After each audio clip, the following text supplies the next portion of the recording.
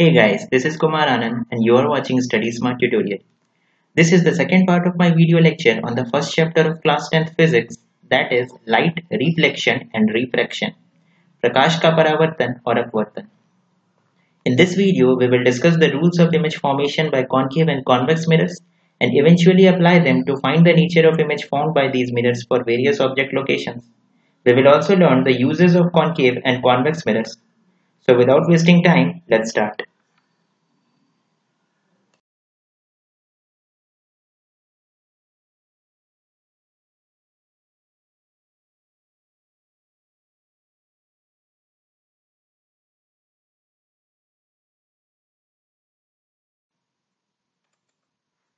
Rules for the formation of images by concave and convex mirror total तीन rules हैं और इन rules का use करके हम रे डायग्राम इजीली फॉर्म कर सकते हैं कॉन्केव मिरर के का भी और कॉन्वेक्स मिरर का भी। तो चलिए देखते हैं तीन रूल्स कौन कौन से पहला है, a ray incident parallel to the principal axis actually passes or appears to pass through the focus. यानी कि वो रेज वो लाइट रेज जो कि प्रिंसिपल एक्सिस से पैरेलल है, वो आफ्टर रिफ्लेक्शन फोकस से पास करेंगी। हमेशा याद रखना। वो लाइट रेज जो कि प्रिंसिपल एक्सिस के पैरेलल है, वो आफ्टर रिफ्लेक्शन फोकस से पास करेंगे। ये एक कॉन्केव मिरर है क्यों कॉन्केव मिरर है, क्योंकि इसके अंदर वाले सरफेस से रिफ्लेक्शन हो रहा है और बाहर वाले सरफेस पे हमने सिल्वर कोटिंग किया हुआ है।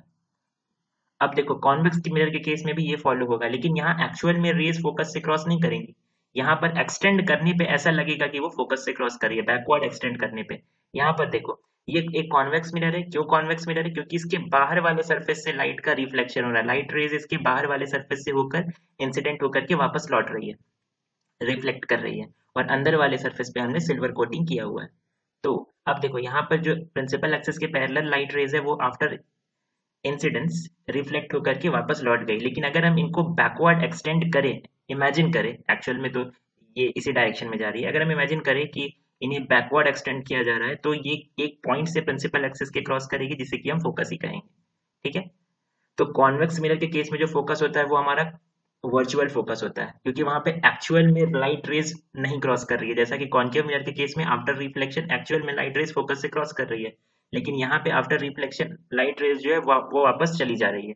वो पीछे बैकवर्ड एक्सटेंड करने पे ऐसा लगता है कि वो मिरर के दूसरी तरफ़ फोकस पे क्रॉस कर रही है प्रिंसिपल एक्सिस को। क्लियर है? ये याद रखना है कॉन्केव मिरर के केस में एक्चुअल में पैरेलल रेज जो कि प्रिंसिपल एक्सिस के पैरेलल है, वो फोकस को क्रॉस करेगी और कॉन्वेक्स मिरर के केस में जो लाइट रे प्रिंसिपल एक्सिस के पैरेलल है, वो अपॉन बैकवर्ड एक्सटेंशन फोकस को क्रॉस करेगी। अब rule number two a ray incident through the center of curvature falls normally and is reflected back along the same path यानी कि वो लाइट रेज जो कि सेंटर ऑफ़ कर्वेचर से हो करके क्रॉस कर रही है और एक मिरर को स्ट्राइक कर रही है, एक मिरर पर इंसिडेंट कर रही है। जैसे ये लाइट रे देखो, ये लाइट रे आ रही है और सेंटर ऑफ़ कर्वेचर ये है, ये हमारा सेंटर ऑफ़ कर्वेचर है और इससे ये लाइट रे होती हुई कॉन्केव मिरर के सरफेस पे आकर के इंसिडेंट हुई। अब रूल ये बोलता है कि जो भी लाइट रे सेंटर ऑफ़ कर्वेचर से होती हुई कॉन्केव मिरर के सरफेस पे आकर के क्रॉस इंसिडेंट इंसिडेंट होती है, वो आफ्टर रिफ्लेक्शन सेम पाथ को ट्रेस करेगी, यानी ये 180 डिग्री घूम जाएगी और सेम पाथ पर ये वापस लौट जाएगी। देखो, ये एरो बैकवर्ड एरो भी सेम लाइन पे शो किया हुआ है ओके यानी इसी लाइन के अलोंग लाइट रे आई, ये मिरर के सरफेस पे टकराई, यानी इंसिडेंट हुई and after reflection same line को ट्रेस करती हुई चली गई। ऐसा क्यों हुआ? क्योंकि ये सेंटर ऑफ़ कर्वेचर से होती हुई गई थी, इसलिए ये सेंटर ऑफ़ कर्वेचर से होती हुई सेम लाइन पर वो ट्रेस करते हुए वापस लौट गई। ये एक रूल है, जिसे हम अप्लाई करेंगे इन इमेज फॉर्मेशन जब हम रे डायग्राम्स के बारे में अब पढ़ेंगे इसके बाद। कॉन्वेक्स मिरर के केस में देखो कॉन्वेक्स मिरर के केस में ये इंसिडेंट रे है, जो कि किस, कुछ इस तरह से आकर के मिरर के सरफेस पर आकर के इंसिडेंट हो रही है। एंड आफ्टर रिफ्लेक्शन ये सेम पाथ पर वापस लौट जा रही है। अब आप बोलोगे, ये रे सेंटर ऑफ़ कर्वेचर से तो होकर क्रॉस नहीं कर रही है। ऑफकोर्स अगर आप इसे एक्सटेंड करोगे तो आप देखोगे कि ये आगे जाकर के सेंटर ऑफ़ कर्वेचर से ही क्रॉस करती। क्योंकि हम जानते हैं कॉन्वेक्स मिरर का फोकस और centre of curvature right side में होता है, दूसरी तरफ़ मिरर के राइट तो आप देखो, अगर हम इस रे को, जो इंसिडेंट रे है, इसे आगे की तरफ़ एक्सटेंड करें तो आप देखो इंसिडेंट रे ऐसा लगेगा कि सेंटर ऑफ़ कर्वेचर से क्रॉस करती तो वो रे जो कि सेंटर ऑफ़ कर्वेचर से क्रॉस करती है, या ऐसा लगता है कि वो करेंगी अपॉन एक्सटेंशन वो वापस सेम पाथ में लौट जाती है, जो जिस पाथ से वो आई थी, यानी ये वाली रे भी टकरा करके आफ्टर इंसिडेंट सेम पाथ पर वापस लौट जाएगी। क्लियर है? क्यों लौट जाएगी? क्योंकि इस रे के डायरेक्शन को अगर हम एक्सटेंड करें, जो कि इंसिडेंट रे है, इसके डायरेक्शन को एक्सटेंड करें तो ये सेंटर ऑफ़ कर्वेचर से क्रॉस करती। Okay? That is why it is returning back, tracing the same path. Clear है? ये था हमारा दूसरा रूल ये रूल्स काफ़ी इंपॉर्टेंट है। बस तीन रूल है। इन्हें जान लिया तो इजीली आप रे डायग्राम को समझ पाओगे और सॉल्व ड्रॉ कर पाओगे। Our third rule is exactly opposite of the first rule यानी कि अगर देखो फ़र्स्ट रूल में क्या था? एक पैरेलल रे आ रही थी इंसिडेंट हो रही थी। यानी यहाँ पे देखो, ये रिफ्लेक्टेड रे ये जा रही है। लेकिन फ़र्स्ट रूल में क्या था? अगर कोई पैरेलल रे प्रिंसिपल एक्सेस के पैरेलल रे आती है और मिरर के सरफेस से इंसिडेंट इंसिडेंट होती है तो आफ्टर रिफ्लेक्शन वो फोकस से होकर जाएगी, वापस लौटेगी। राइट इसका ठीक उल्टा है थर्ड रूल अगर कोई रे फोकस से होकर के क्रॉस करती हुई इंसिडेंट होती है मिरर के सरफेस पे तो आफ्टर रिफ्लेक्शन वो प्रिंसिपल एक्सिस के पैरेलल वापस लौट जाएगी। और ये सिर्फ़ इसी केस में नहीं, ये हमेशा ही वैलिड होता है। इसे कहते हैं principle of reversibility of path of light rays अगर मैं गलत नहीं हूँ तो। यानी कि आप लाइट के रास्ते को उलट दो तो वो पूरी उलट उलट जाती है। अगर ऐसे आई थी और ऐसे जा रही है तो अगर हम ऐसे भेजते यानी अगर इंसिडेंट ये है और रिफ्लेक्टेड ये है तो अगर इंसिडेंट इस तरह से होती लाइट रे तो रिफ्लेक्टेड रे ये होती एग्जैक्टली सेम पाथ को लाइट रे ट्रेस करती। सब कुछ उलट जाता। है और ये सिर्फ़ इस केस में नहीं ये हमेशा ही वैलिड होता है। कॉन्वेक्स मिरर के केस में देखें तो लाइट रेज आकर इंसिडेंट हो रही है मिरर के सरफेस पे कुछ कुछ इस पॉइंट पर। अगर हम इसे एक्सटेंड करते तो देखो ऐसा लग रहा है कि ये फोकस से क्रॉस करेगी ओके सो so, क्योंकि ऐसा लग रहा है ऐसा परसीव हम कर सकते हैं कि ये अपॉन एक्सटेंशन फोकस से क्रॉस करती है। इसलिए इस केस में भी ये लाइट रे सरफेस पर इंसिडेंट होने के बाद प्रिंसिपल एक्सेस के पैरेलल निकल जाएगी। क्लियर है?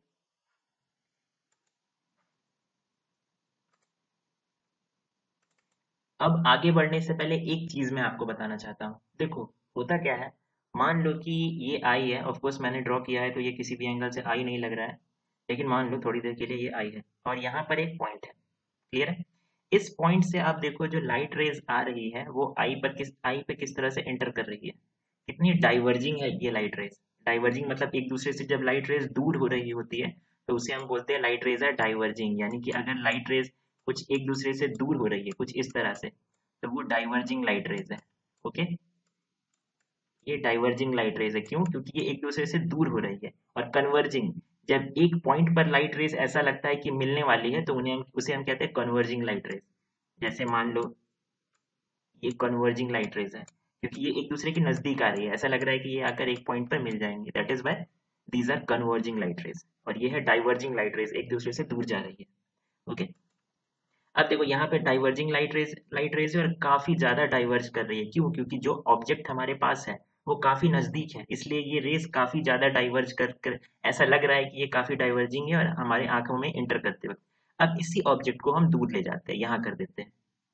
अब देखो सेम लाइट रेज जो यहाँ पर इतनी डाइवर्जिंग थी अब हमारी आँखों तक पहुँचते पहुँचते जो काफ़ी दूर है अब इसके कंपैरिजन में काफ़ी दूर है इस केस में।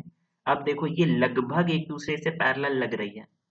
या तो अगर पैरेलल नहीं है तो इसके कंपैरिजन में काफ़ी कम डाइवर्जिंग है ये लाइट रेस अब सोचो, अगर यही पॉइंट बहुत ज़्यादा दूर होता, यानी इन्फिनिटी पर होता, तब ये लाइट रेज हमारी आँखों तक पहुँचते पहुँचते एक दूसरे से बिल्कुल पैरेलल ही हो जाती, होती। इसलिए हम ये अज्यूम करते हैं कि जो भी ऑब्जेक्ट काफ़ी दूर पर है, यानी इन्फिनिटी पर है तो उनसे जो लाइट रेज आ रही है, वो हम तक पहुँचते पहुँचते या मिरर तक पहुँचते पहुँचते एक दूसरे से लगभग पैरेलल हो जाती है। क्लियर ऐसा हम अज्यूम इस रीजन से करते हैं। क्योंकि देखो, इतनी कम इसमें और इस केस में और इस केस में काफ़ी कम डिफरेंस है। हमने यहाँ पर डिस्टेंस इतना है और यहाँ पर इतना। इतने कम डिस्टेंस में देखो कितना फ़र्क पड़ गया। यहाँ पे लगभग लाइट रेस पैरेलल है। अब सोचो कि सन है या मून है, ये सारी चीज़ें काफ़ी दूर है। स्टार्स है, बहुत ज़्यादा दूर है। मून भी काफ़ी दूर है। सन ऑफकोर्स सन के कंपेरिजन में काफ़ी कम दूर है, लेकिन ये सारी चीज़ें हेवनली बॉडीज उनसे काफ़ी दूर है। इसलिए हम अज्यूम करते हैं कि इन सारी चीज़ों से, ये सारी चीज़ें इन्फिनिटी पर है। जो भी चीज़ हमसे काफ़ी दूर होता है ऑप्टिक्स में हम अज्यूम करते हैं कि वो सारी चीज़ें इन्फिनिटी पे है और जो चीज़ काफ़ी दूर होती है, उनसे आने वाली लाइट रेस को हम पैरल लाइट रेस अज्यूम करते हैं। यानी वो हम तक पहुँचते पहुँचते एक दूसरे के पैरल हो गई है। ऐसा हम अज्यूम करते हैं। चलो, अब हम छह केसेस पर आते हैं कॉनकेव मिरर के। ये है हमारा कॉनकेव मिरर हम छह केस पर डिस्कस करेंगे।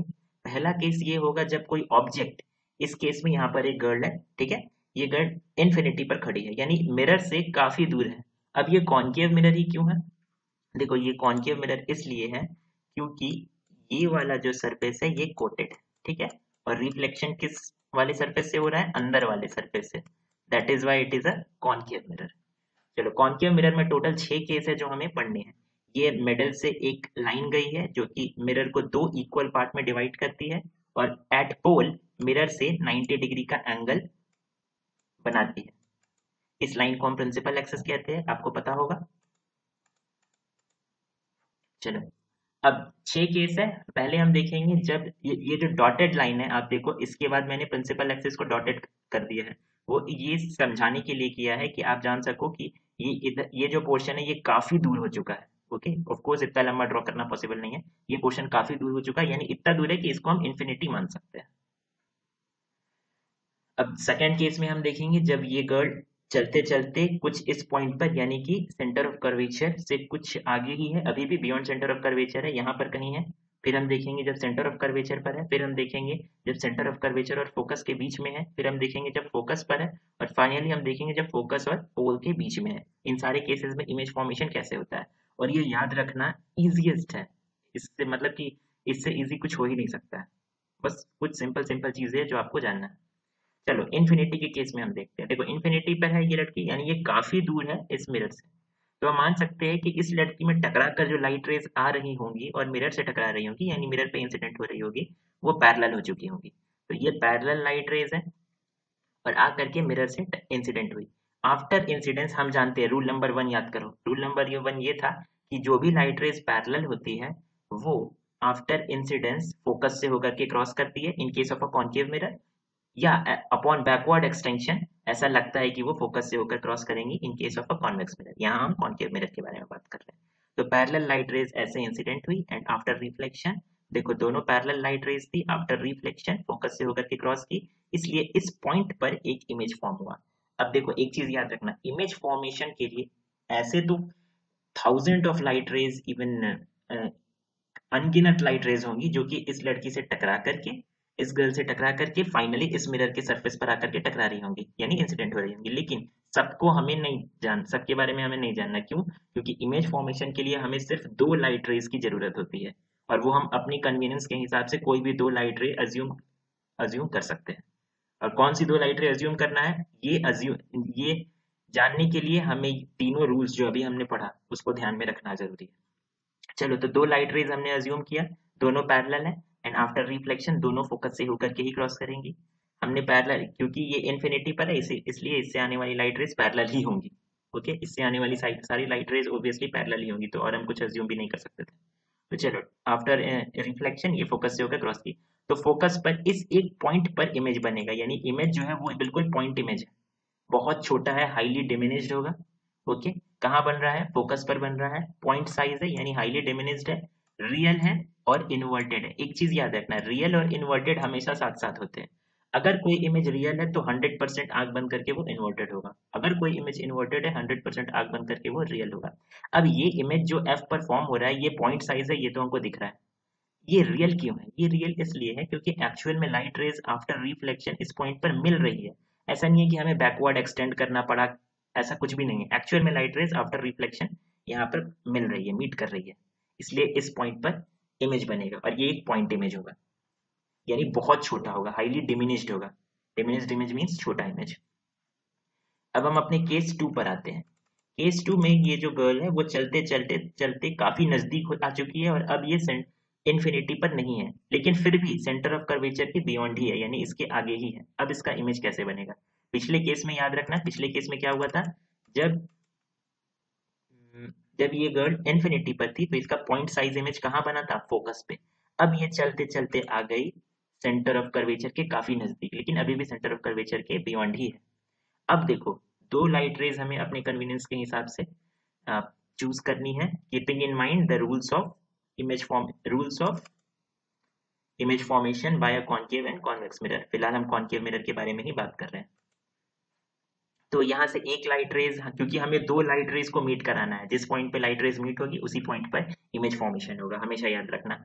दो लाइट रेज हमें चाहिए, जो कि ऑब्जेक्ट से आ रही हो मिरर से टकरा रही हो एंड आफ्टर रिफ्लेक्शन वो जिस पॉइंट पर मीट करेगी, वहाँ पर इमेज फॉर्म होगा। तो अब यहाँ पर हम दो लाइट रेज कौन कौन सी चुनेंगे? पहली लाइट रे हम पैरल चुनते हैं। पैरल लाइट रे है तो पैरल कहाँ से क्रॉस करेगी आफ्टर रिफ्लेक्शन फोकस से। ये एक कॉन्केव मिरर है। दूसरी लाइट रे हम फोकस से चुनते हैं। एक लाइट रे कोई होगी जो कि फोकस से होकर के क्रॉस करती हुई मिरर से टकराएगी इंसिडेंट होगी मिरर पर एंड आफ्टर रिफ्लेक्शन वो पैरेलल निकल जाएगी। याद रखना rule number three okay rule number three जो कि रूल नंबर वन का अपोजिट था।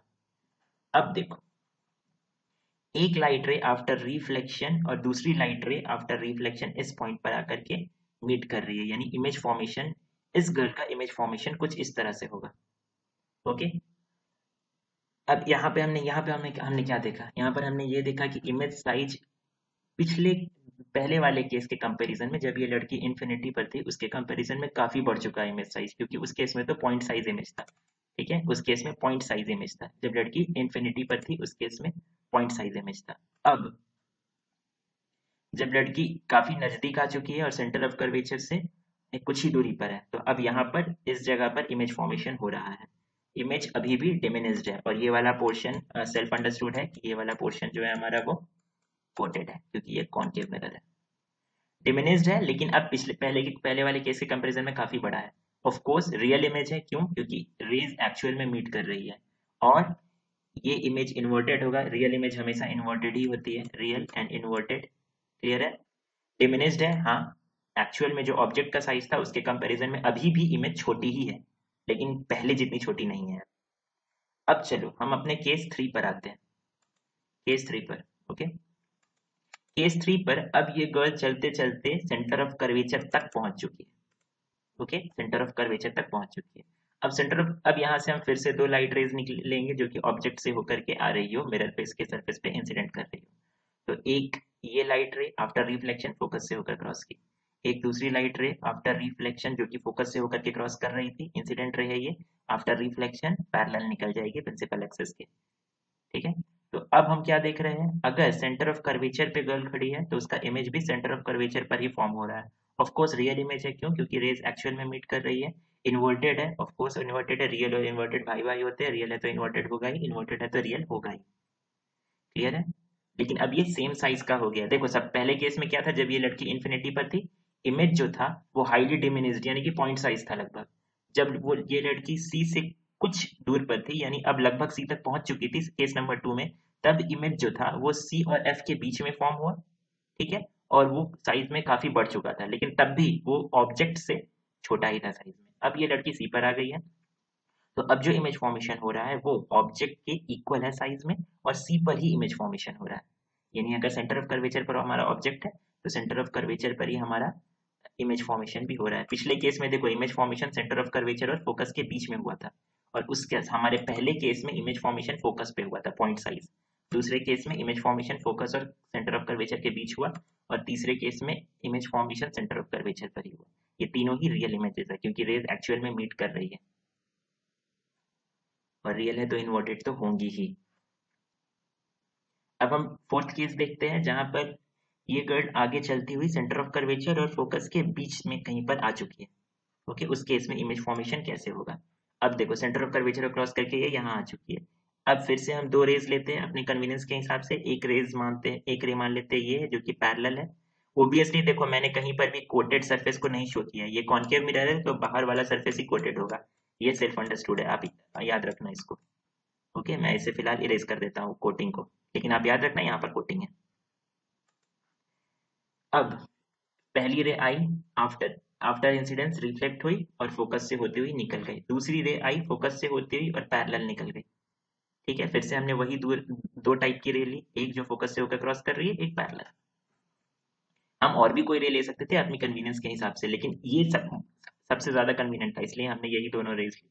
इसके अलावा और भी ऑप्शन थे, लेकिन वो थोड़ा ज़्यादा कॉम्प्लेक्स हो जाता। किसी भी दो रे को हम ले सकते हैं ऑब्वियसली लेकिन वही दो रेज लेंगे जो कि इजिएस्ट है। अब देखो, यहाँ पे जब गर्ल सी को क्रॉस करके एफ़ सी और एफ़ के बीच में आ चुकी है तो इसका जो इमेज फॉर्मेशन है, वो बियॉन्ड सी होने लगा। और अब पहली बार हमें जो इमेज फॉर्मेशन इमेज है, वो एक्चुअल ऑब्जेक्ट के साइड से बड़ा मिल रहा है। ठीक है? एक चीज़ ध्यान देना। हमारे पहले केस में पॉइंट साइज़ इमेज था, हमारे दूसरे केस में डिमिनिस्ड था, अभी भी ऑब्जेक्ट से छोटा ही था। हमारे तीसरे केस में ऑब्जेक्ट के इक्वल हो गया, और हमारे चौथे केस में ऑब्जेक्ट से बड़ा हो गया, यानी इमेज धीरे धीरे इमेज साइज़ बड़ा होता जा रहा है। और एक चीज़, हमारे पहले केस में इमेज फॉर्मेशन एफ़ पे हो रहा था, दूसरे केस में इमेज फॉर्मेशन सी और एफ़ के बीच में हुआ, तीसरे केस में इमेज फॉर्मेशन सी पर हुआ, और अब बियॉन्ड सी हो रहा है, यानी कि मिरर से दूर भाग रहा है इमेज जैसे जैसे ऑब्जेक्ट मिरर से नज़दीक आता जा रहा है इमेज मिरर से दूर भागता जा रहा है, और साइज़ में बड़ा होता जा रहा है। क्लियर है? जैसे जैसे ऑब्जेक्ट हमने क्या नोटिस किया? जैसे जैसे ऑब्जेक्ट मिरर से नज़दीक आता जा रहा है इमेज मिरर से दूर भागता जा रहा है, ऑब्जेक्ट इस डायरेक्शन में जा रहा है, इमेज इस डायरेक्शन में जा रहा है। ऑब्जेक्ट जैसे जैसे राइट जा, मिरर की तरफ़ बढ़ रहा है, इमेज जो है वो साइज़ में बड़ा होता जा रहा है। चलो। अब बियॉन्ड सी इस केस में इमेज बन रहा है ऑफ़ कोर्स मैग्नीफाइड है, यानी कि ऑब्जेक्ट से बड़ा है साइज़ में रियल है ऑफ़ कोर्स रियल है, क्यों? क्योंकि रेज एक्चुअल में आफ्टर रिफ्लेक्शन दोनों रेज देखो आपस में यहाँ मिल रही है। ऑफ़ कोर्स ढेर सारी रेज आकर के मिल रही होंगी। तो मोस्ट कन्वीनियंट था। इन दो रेज को सेलेक्ट इसलिए किया हमने, क्योंकि ये मोस्ट कन्वीनियंट था। और रियल है तो इन्वर्टेड तो होगा ही। चलो। अब हम आते हैं अपने नेक्स्ट केस पर। नेक्स्ट केस में अब ये गर्ल फोकस पर आ चुकी है। यानी सेंटर ऑफ़ कर्वेचर और फोकस के बीच से चलती हुई अब ये फोकस पे आ चुकी है। अब हम फिर से कोई दो रे लेंगे अपने कन्वीनियंस के हिसाब से। अब यहाँ पे हम क्या ले सकते हैं? देखो, पहले हम पैरेलल ले लेते हैं। पैरेलल लिया। यहाँ पर भी ऑफ़ कोर्स इस डायरेक्शन में यहाँ पूरा कोटिंग है, जो कि मैंने शो नहीं किया। पैरेलल रेज आई इंसिडेंट हुई मिरर पे मिरर पे एंड आफ्टर रिफ्लेक्शन कुछ इस तरह से गई फोकस से होती हुई, जो कि हमारा इमेज फॉर्मेशन का रूल है, हमने पढ़ा। दूसरी रे देखो, ये जो है, ये मिरर पे कुछ इस तरह से इंसिडेंट हुई तो ये वापस इसी लाइन में लौट जाएगी। अब आप बोलोगे, ऐसा क्यों? क्योंकि देखो, ये जो इंसिडेंट रे है मिरर को ऐसा लगेगा कि ये incident ray centre of curvature से आ रही है, क्योंकि देखो, ये इसी लाइन के अलोंग है। हमने इसी लाइन के अलोंग एक रे को सेलेक्ट किया है, ताकि कन्वीनियंस कन्वीनियंस रहे हमें। चलो यहाँ से आकर के मिरर के सरफेस पे इंसिडेंट हुई and after reflection same line पर लौट गई। क्यों लौटी? क्योंकि मिरर को ऐसा लगेगा कि ये जो लाइट रे है, ये वाली, ये सेंटर ऑफ़ कर्वेचर से होती हुई आ रही है। और हम जानते हैं rule number two centre of curvature से होकर के जो लाइट रेज आकर के मिरर पे इंसिडेंट करती है, वो डायरेक्टली उसी लाइन के अलोंग रिवर्स हो जाती है डायरेक्शन में और वापस लौट जाती है आफ्टर रिफ्लेक्शन ठीक है? अब ये लाइट रे और ये लाइट रे दोनों देखो एक दूसरे के पैरेलल है और पैरेलल रेज हम मानते हैं कि इन्फिनिटी पे जाकर के एक दूसरे से मीट करती है। यानी कि बहुत दूर कहीं जा करके एक दूसरे से पैरेलल रेज मीट करेंगी। और सोचो, ये दो रेज जहाँ पर भी मीट करेगी, ये जो इमेज साइज़ है, ये उस जगह पे हाईली मैग्नीफाइड होगा। बहुत ज़्यादा बड़ा होगा ऑब्जेक्ट के कंपैरिजन में, क्योंकि ये दोनों रेज बहुत दूर जाकर के मीट करेंगी। पैरेलल रेस है ये दोनों। अब आप बोलोगे पैरेलल तो है तो कभी कभी नहीं मीट करना चाहिए। ऑप्टिक्स में हम मानते हैं कि पैरेलल रेज जो है वो एकदम इन्फिनिटी पर जाकर के आपस में मीट करती है। और इतनी दूर जाते जाते ये जो इमेज है आप सोचो कि साइज़ में कितना बड़ा हो जाएगा। क्लियर है? अब हम अपने फाइनल केस पर आते हैं। फाइनल केस है कि जब ये गर्ल फोकस को भी क्रॉस करके अब फोकस और पोल के बीच में है। फोकस और पोल के बीच में है तो फिर से हम दो रे लेते हैं। एक रे पैरेलल आई आफ्टर रिफ्लेक्शन फोकस से होते हुए गुजर गई। ऑफ़ कोर्स इस केस में भी मैं बता देता हूँ, बार बार हो सकता है आपको कंफ्यूजन हो जाए। ये वाला जो पोर्शन है, ये क्या है? कोटेड है। सारे केस में, लेकिन मैंने कहीं भी कोटिंग दिखाया नहीं है। I am sorry for that ये कॉन्केव मिरर है तो अंदर वाली सरफेस से रिफ्लेक्शन हो रहा है और आउटर सरफेस जो है वो कोटेड है सिल्वर कोटेड है। यूजुअली सिल्वर कोटिंग ही होती है। चलो, अब ये लाइट रेज यहाँ से आई, टकराई, क्योंकि पैरेलल थी, इसलिए फोकस से होती हुई निकल गई। दूसरी लाइट रे हम ये वाली जानबूझ कर लेते हैं, क्योंकि हमें इमेज फॉर्मेशन को समझने में इजी होगा। इसलिए इस लाइट रे को चुनते हैं। इसको क्यों चुना? क्योंकि इसको देखो बैकवर्ड एक्सटेंशन ऐसा लगेगा, क्योंकि मिरर को धोखा देना है। मिरर को ऐसा लगेगा कि ये लाइट रे जो है, जो ऑब्जेक्ट से आ रही है, ये एक्चुअल में सेंटर ऑफ़ कर्वेचर क्योंकि इस लाइन के अलॉन्ग ही है, ये इंसिडेंट रे तो ये एक्चुअल में सेंटर ऑफ़ कर्वेचर से होती हुई आ रही है। तो मिरर इसको किस डायरेक्शन में रिफ्लेक्ट करेगा? दोबारा से सेम पाथ के अलॉन्ग इसे रिफ्लेक्ट कर देगा। ओके दोबारा से सेम पाथ के अलॉन्ग इस लाइट रे को रिफ्लेक्ट कर देगा। अब इस केस में देखो, ये दोनों रेस पैरेलल नहीं है, ये दोनों रेस डाइवर्जिंग है। यानी कि ये दोनों कभी मीट ही नहीं होंगी। जब कभी मीट नहीं होगी तो इमेज फॉर्मेशन कैसे होगा? हम जानते हैं कि इमेज फॉर्मेशन होता ही तभी जब रेज आपस में मीट करती है। तो अब यहाँ पर हम क्या करते हैं? फिर से बैकवर्ड एक्सटेंड करते हैं। यहाँ एक्चुअल में रेज मीट नहीं होगी तो हमें करना पड़ेगा खुद से। चलो, अब दोनों ही रिफ्लेक्टेड रे को, यानी ये वाली जो रिफ्लेक्टेड रे है और एक दूसरी ये वाली जो रिफ्लेक्टेड रे है, इन दोनों को हम बैकवर्ड एक्सटेंड करते जाते हैं, ऐसे। इस वाली को हमने बैकवर्ड एक्सटेंड किया और इस वाली रिफ्लेक्टेड रे को भी हमने बैकवर्ड एक्सटेंड किया।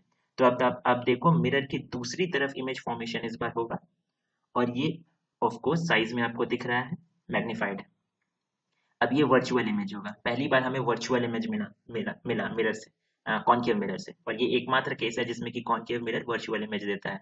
कब? जब ऑब्जेक्ट पोल और फोकस के बीच में हो। ये इमेज वर्चुअल क्यों है? क्योंकि एक्चुअल में रेस तो कहीं मीठी नहीं की जहाँ पे इमेज फॉर्मेशन होता। हमने उसे बैकवर्ड एक्सटेंड किया। हमने ये अज्यूम किया और तब यहाँ पर इमेज फॉर्मेशन हो रहा है। Okay so this is an virtual image this is erect जहाँ पे इमेज वर्चुअल है, वो हमेशा इरेक्ट ही होगा। और जहाँ पर याद रखना, हमेशा, कहीं पर भी आप पढ़ रहे हो, कुछ जहाँ पर वर्चुअल है, वहाँ पर इरेक्ट ही होगा इमेज और जहाँ पर रियल हो, वहाँ पर इन्वर्टेड ही होगा इमेज अब इमेज बिहाइंड द मिरर बन रहा है ऑब्वियसली बिहाइंड द मिरर ही बन रहा है इमेज मैग्नीफाइड है यस ऑब्जेक्ट से मैग्नीफाइड है, यानी साइज़ में कई टाइम्स बढ़ गया है। हो सकता है टू टाइम्स बढ़ाओ थ्री टाइम्स बढ़ाओ वन पॉइंट फाइव टाइम्स बढ़ाओ। ये मोस्ट इंपॉर्टेंट केस है, एक कॉन्केव मिरर का। So this was all on concave mirrors. अब हम आते हैं कॉन्वेक्स मिरर्स पर।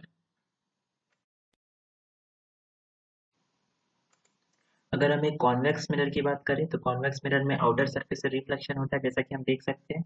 एंड ओबियसली ये सेल्फ अंडरस्टूड है कि ये वाला जो सरफेस है, जो कि इनसाइड सरफेस है, ये कोटेड है। यूजुअली सिल्वर कोटिंग का यूज़ होता है।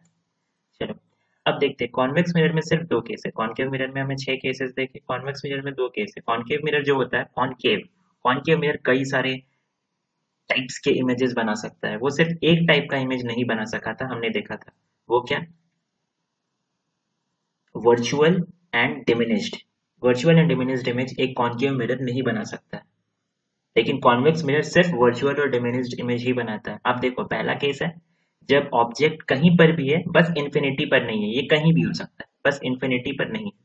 अगर ऑब्जेक्ट कहीं पर भी है एक्सेप्ट इन्फिनिटी तो इमेज फॉर्मेशन के लिए हमें दो रेज की ज़रूरत पड़ेगी। चलो, दो रेज लेते हैं अपनी कन्वीनियंस के हिसाब से। Keeping in mind the law of formation of images जो तीन रूल्स हमने पढ़े थे।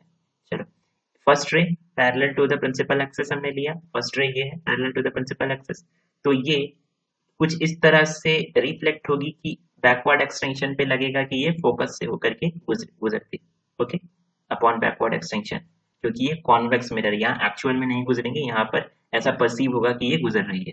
अपॉन बैकवर्ड एक्सटेंशन अब, एक मिरर हम ऐसा लेते हैं सॉरी एक रे हम ऐसा लेते हैं जो कि मिरर को देखो, ये यहाँ पे ये सेंटर ऑफ़ कर्वेचर याद रखना अब एक रे हम ऐसा लेते हैं जो कि ऐसा लगे कि अपॉन एक्सटेंशन ये सेंटर ऑफ़ कर्वेचर से होकर के क्रॉस करती अब ये रे किस तरह से वापस लौटेगी? सेम लाइन में ये वापस लौट जाएगी। क्लियर है? ये रे जिस तरह से आई थी सेम लाइन में ये वापस लौट जाएगी।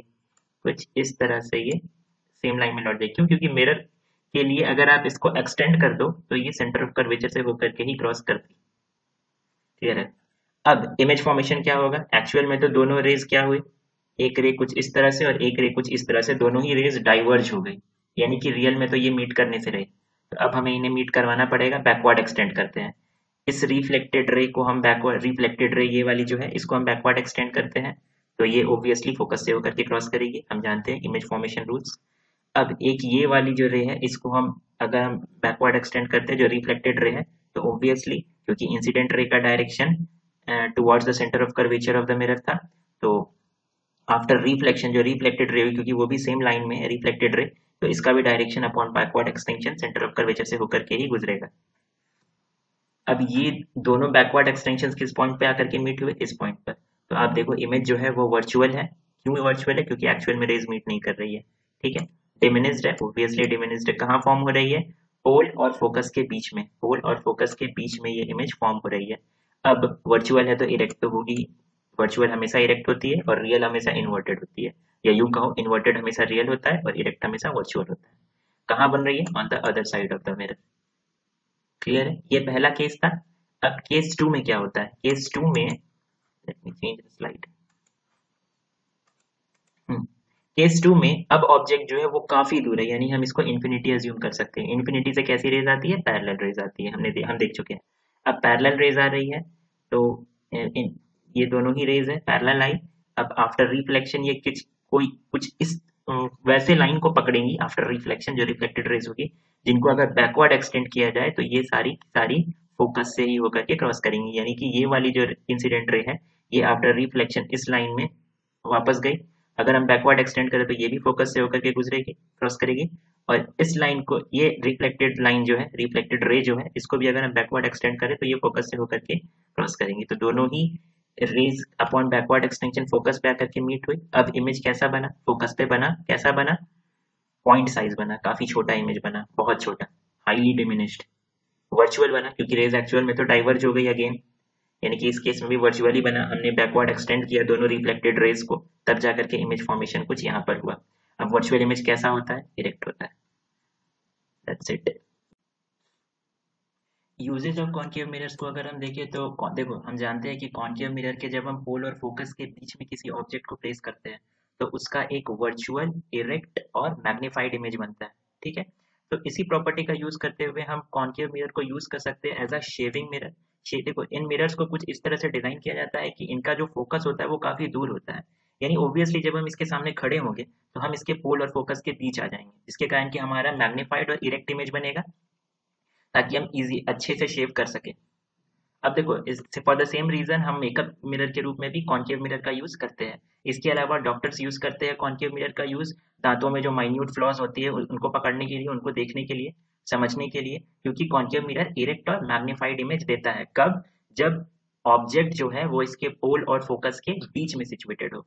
बाकी सारे, आप जानते हो कि बाकी सारे अलग अलग केसेस के लिए कॉन्केव मिरर अलग अलग टाइप्स की इमेजेस देता है। लेकिन फ़िलहाल जो हम इन तीन केसेस का बात, इन तीन यूजेस का बात कर रहे हैं, ये इसी प्रॉपर्टी का यूज़ करती है कि कॉन्केव मिरर के जब पोल और फोकस के बीच में कोई ऑब्जेक्ट हो तो वो उसका मैग्निफाइड और इरेक्ट इमेज देता है। इसके अलावा गाड़ियों में हेडलाइट के रूप में भी हम कॉन्केव मिरर्स का यूज़ करते हैं। हम इस सामने वाले ग्लास की बात नहीं कर रहे हैं। कॉन्केव मिरर जो लाइट है इसके अंदर ओके हेडलाइट में जो लाइट है उसके पीछे कॉन्केव मिरर का यूज़ किया जाता है। किस तरह से, ये जानने के लिए हम एक सिंपल सा एग्ज़ाम्पल देख, देखो।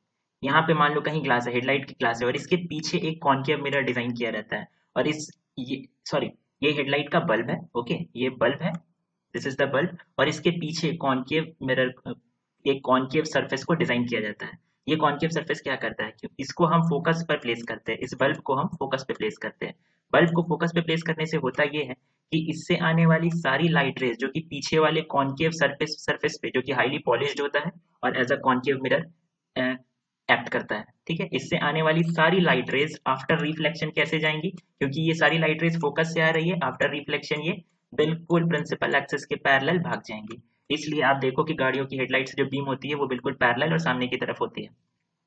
क्लियर है? सेम जो प्रॉपर्टी है, इसका यूज़ हम करते हैं टॉर्चेज में भी। अगर आप टॉर्चेज में देखो तो क्या होता है? उसमें भी सेम चीज़ होती है। टॉर्च में एक बल्ब होता है और बल्ब के पीछे एक highly polished concave surface design किया होता है। और इस बल्ब को इस सरफेस के फोकस पे प्लेस किया जाता है, ताकि इससे आने वाली सारी लाइट रेज को रिफ्लेक्ट करके ये कॉन्केव सरफेस बिल्कुल सामने एक दूसरे से पैरेलल ओके बिल्कुल सामने और एक दूसरे से पैरेलल भेज देता है आफ्टर रिफ्लेक्शन जिससे कि बल्ब से एक टॉर्च से जो बीम निकलती है, वो बिल्कुल पैरेलल और सामने की तरफ़ फोकस्ड होती है ओके इसके अलावा भी अगर आप सोलर एनर्जी के फ़ील्ड में देखो तो सोलर एनर्जी के फ़ील्ड में क्या होता है, काफ़ी बड़ी बड़ी कॉन्केव सर्फेसेस होती है ओके okay? और इतनी बड़े सरफेस पे जितने जितना भी सन रेज आकर के फॉल हो रहा है सन रेज इंसिडेंट हो रहा है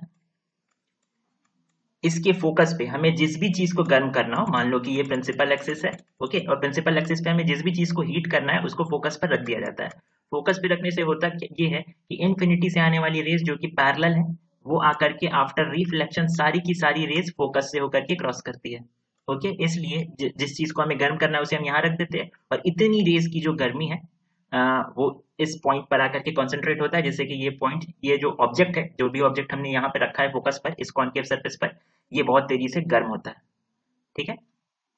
ये था कॉन्केव यूज़ कॉन्केव मिरर का कुछ यूज़ अगर हम कॉन्वेक्स मिरर के यूजेस के बारे में देखें तो कॉन्वेक्स मिरर हमेशा, चाहे ऑब्जेक्ट कहीं भी हो, एक डिमिनिस्ड यानी कि छोटी इमेज बनाता है और इरेक्ट इमेज बनाता है, यानी कि सीधी इमेज बनाता है। यानी ये छोटी और सीधी इमेज बनाता है irrespective of whether where is the object situated okay? तो इसलिए आप देखो कि शॉप लिफ्टर्स वगैरह को कंट्रोल करने के लिए दुकानों में कुछ इस तरह से कॉन्वेक्स मिरर कॉन्वेक्स सरफेस का कॉन्वेक्स रिफ्लेक्टिंग सरफेस का यूज़ किया जाता है। ठीक है, जिससे कि एक बड़ी दुकान को आप एक छोटे से सरफेस में देख सकते हो। क्यों देख सकते हो क्योंकि ये कॉन्वेक्स मिरर है और ये चीज़ों को छोटी छोटी दिखाता है और सीधी दिखाता है। ओके? छोटी दिखाता है और सीधी दिखाता है। इसलिए एक बड़े एरिया को आप एक छोटे से मिरर में देख सकते हो। For the same reason convex mirror का यूज़ हम साइड मिरर्स में भी करते हैं। साइड मिरर में यूज़ करने से फ़ायदा ये होता है कि आपके पीछे जितनी भी गाड़ियाँ आ रहा है, उनको ये छोटी छोटी दिखाता है। ओके छोटी छोटी दिखाने से आप एक बड़े एरिया को देख सकते हो। आपकी गाड़ी के पीछे के एक बड़े एरिया को आप अपने साइड मिरर में देख सकते हो। अगर ये बड़ी करके दिखाता है तो आप बहुत छोटी सी एरिया को ही देख पाते क्योंकि वो हर चीज़ को बड़ी करके दिखा रहा है। ओके और आप देखोगे तो कॉन्वेक्स मिरर्स में साइड मिरर्स में लिखा भी रहता है object in the mirror are closer than they appear वो इसलिए लिखा रहता है क्योंकि कॉन्वेक्स मिरर चीज़ों को छोटी करके दिखाता है, इसलिए वो नॉर्मली थोड़ी दूर लगती है बट एक्चुअल में वो क्लोज होती है। ओके इस रीजन से ऐसा लिखा होता है कॉन्वेक्स मिरर्स में साइड मिरर्स में। क्लियर है? अगर हम साइन कन्वेंशन की बात करें, देखो साइन कन्वेंशन का यूज़ आपको पड़ेगा कहाँ पर? न्यूमेरिकल सॉल्व करने में साइन कन्वेंशन का यूज़ पड़ेगा। बट अभी हम फ़िलहाल जान लेते हैं कुछ चीज़ें। साइन साइन कन्वेंशन की बात करें तो आप देखो जब हम न्यूमेरिकल सॉल्व कर रहे होंगे ऑफकोर्स आगे हम न्यूमेरिकल सॉल्व करेंगे जहाँ पे ये काफ़ी हेल्पफुल होगा साइन कन्वेंशन और ये सबसे ईजी चीज़ है ओके okay, आप याद रखना आप एक्स और वाई कोऑर्डिनेट सिस्टम को जानते हो आप जानते हो ये positive direction of x axis है ये निगेटिव डायरेक्शन ऑफ़ एक्स यानी इस डायरेक्शन में निगेटिव है और इस डायरेक्शन में पॉजिटिव है। ऊपर वाले डायरेक्शन में पॉजिटिव है ये positive direction of y axis है और नीचे वाले डायरेक्शन में वर्टिकली डाउनवर्ड डायरेक्शन में निगेटिव है ओके क्योंकि ये निगेटिव वाई एक्सिस है। सेम लॉजिक फॉलो होता है एक कॉन्केव मिरर में भी, या कॉन्वेक्स मिरर में भी इवन इन लेंस हर चीज़ में, चाहे आप लेंस की बात करो या मिरर की बात करो, हर जगह ये लॉजिक फॉलो होता है। साइन कन्वेंशन में हम कुछ इस तरह से लेते हैं कि ऑब्जेक्ट डिस्टेंस देखो, एक बात याद रखना है, एक मिरर हो या एक लेंस हो, जो भी डिस्टेंस हम मेजर करते हैं, चाहे वो ऑब्जेक्ट डिस्टेंस हो, यानी कि ऑब्जेक्ट मिरर से कितनी दूरी पर है, या वो इमेज डिस्टेंस हो, यानी कि इमेज मिरर से कितनी दूरी पर है, या और फोकल फोकल डिस्टेंस हो फोकल लेंथ हो ओके ये सारी चीज़ें हम पोल से मेजर करते हैं, यानी हम पोल से, अगर मान लो कि ऑब्जेक्ट कुछ इस जगह पर है, ठीक है? ऑब्जेक्ट ये है तो हम पोल से बढ़ करके ऑब्जेक्ट तक पहुँचेंगे। अगर इमेज यहाँ बन रहा है तो हम पोल से बढ़ करके इमेज तक पहुँचेंगे। ये डिस्टेंस है। हम इमेज से पोल तक नहीं जाएँगे डिस्टेंस को मेजर करने के लिए। हमेशा पोल से स्टार्ट करके उस चीज़ तक जाएँगे जहाँ तक का हमको डिस्टेंस मेजर करना है। अगर ऑब्जेक्ट यहाँ है तो ये डिस्टेंस है। और डिस्टेंस मेजर करने के लिए हमें लेफ़्ट वार्ड इस तरह से मूव करना पड़ा। ओके यानी कि निगेटिव एक्स डायरेक्शन कुछ इस तरह से। यानी कि अगर आप लेफ़्ट की तरफ़ मूव कर रहे हो किसी भी डिस्टेंस को मेजर करने के लिए, अगर आप लेफ़्ट की तरफ़ मूव कर रहे हो किसी भी डिस्टेंस को मेजर करने के लिए, यानी पोल से लेफ़्ट कुछ इस तरह से तो जो डिस्टेंस आएगा वो निगेटिव होगा। ओके अगर आप पोल से राइट right डायरेक्शन में मूव कर रहे हो किसी किसी भी डिस्टेंस को मेजर करने के लिए तो वो जो डिस्टेंस आएगा वो पॉजिटिव लेंगे हम। क्लियर है? सिमिलरली जो पॉजिटिव वाई डायरेक्शन है ऑब्जेक्ट देखो ऑब्जेक्ट इस तरह, जो पॉजिटिव वाई डायरेक्शन है, ऊपर की तरफ़ ये हम पॉजिटिव लेते हैं और जो नीचे की तरफ़ है, इसे हम निगेटिव लेते हैं। ओके मान लो कि ऑब्जेक्ट यहाँ है तो हम ऑब्जेक्ट की जो हाइट है, उसे पॉजिटिव मानेंगे। क्यों पॉजिटिव मानेंगे? क्योंकि ये ऊपर की तरफ़ है अपवर्ड यानी पॉजिटिव वाई डायरेक्शन में। मान लो कि इमेज कुछ इस तरह से बन रहा है तो ये भी पॉजिटिव है। क्यों? क्योंकि हम अपवर्ड वाई डायरेक्शन में जा रहे हैं हाइट को मेजर करने के लिए इमेज की। लेकिन अगर इमेज कुछ इस तरह से बनता तो ये निगेटिव इस हाइट को हम निगेटिव लेंगे, यानी माइनस एच टू लेंगे। ओके माइनस एच टू क्यों लेंगे? क्योंकि ये निगेटिव डायरेक्शन ऑफ़ वाई में है। यानी कि सेम लॉजिक को हम फॉलो करते हैं। अगर हम पोल से राइट वर्ड जा रहे हैं किसी डिस्टेंस को मेजर करने के लिए तो हम उस डिस्टेंस को पॉजिटिव लेंगे। अगर हम पोल से लेफ़्ट वर्ड जा रहे हैं लेफ़्ट डायरेक्शन में जा रहे हैं किसी डिस्टेंस को मेजर करने के लिए तो हम उस डिस्टेंस को निगेटिव लेंगे। अगर हम प्रिंसिपल एक्सिस से अपवर्ड जा रहे हैं किसी हाइट को मेजर करने के लिए, फिर चाहे वो ऑब्जेक्ट हाइट हो या इमेज हाइट हो तो वो पॉजिटिव में होगा हमेशा प्लस में। और अगर हम प्रिंसिपल एक्सिस से डाउनवर्ड जा रहे हैं यानी निगेटिव वाई एक्सिस देखो सेम लॉजिक फॉलो हो रहा है हर जगह तो वो हाइट जो होगा वो निगेटिव होगा ठीक है? क्लियर है? चलो तो ये था हमारा sign convention for concave convex con, concave mirrors convex mirrors and even lenses. अगर हम कॉन्केव और कॉन्वेक्स लेंस की बात करें तो वहाँ पर भी सेम साइन कन्वेंशन फॉलो होगा। याद रखना ये वैलिड है लेंस के केस में भी। कोई कंफ्यूजन नहीं रखना है दिमाग में। ठीक है? यानी मान लो अब अगर मैं ये बोलूँ कि एक ऑब्जेक्ट मिरर से तीन सेंटीमीटर डिस्टेंस पर है। तो ऑब्जेक्ट, मान लो ये ऑब्जेक्ट है और ये मिरर से तीन सेंटीमीटर की डिस्टेंस पर है। तीन सेंटीमीटर डिस्टेंस पे है। तो हम ऑब्जेक्ट डिस्टेंस को माइनस थ्री लेंगे। माइनस थ्री सेंटीमीटर क्यों? क्योंकि पोल से हमें लेफ़्ट वर्ड जाना पड़ा। देखो, पोल से, यानी ओरिजिन जो होता है, अगर हम कोऑर्डिनेट ज्योमेट्री की बात करें तो ओरिजिन से लेफ़्ट जब हम जाते हैं तो निगेटिव डायरेक्शन होता है वो, ठीक है? तो पोल से जब हम लेफ़्ट जा रहे हैं इस डिस्टेंस ऑब्जेक्ट डिस्टेंस को मेजर करने के लिए तो ये माइनस थ्री होगा। अगर मैं ये बोलूँ कि इमेज डिस्टेंस इमेज जो है वो टू सेंटीमीटर के डिस्टेंस पे कुछ इस जगह पर बना, ओके? यहाँ पर। तो हम पोल से इस डिस्टेंस को मेजर करने के लिए राइट वर्ड जा रहे हैं। यानी इमेज डिस्टेंस मेरा पॉजिटिव होगा प्लस टू सेंटीमीटर ओके? यानी कि टू सेंटीमीटर और कुछ नहीं। ये हाइट जो है, ये पॉजिटिव है, क्योंकि ये पॉजिटिव वाई डायरेक्शन में है प्रिंसिपल एक्सेस से। और ये हाइट भी पॉजिटिव है, क्योंकि ये भी पॉजिटिव वाई डायरेक्शन में है। ये हाइट जो है, ये निगेटिव होगी, क्योंकि ये निगेटिव वाई डायरेक्शन में है। ये सॉरी ये जो साइन कन्वेंशन है, ये फॉलो होता है। और ये हर जगह फॉलो होता है। कोई फ़र्क नहीं पड़ता कि आप कॉनकेव मिरर के बारे में पढ़ रहे हैं कॉन्वेक्स मिरर के बारे में पढ़ रहे हैं कॉन्केव लेंस के बारे में पढ़ रहे हैं या कॉन्वेक्स लेंस के बारे में पढ़ रहे हैं। ये जो साइन कन्वेंशन है, ये हर जगह फॉलो होगा। ठीक है?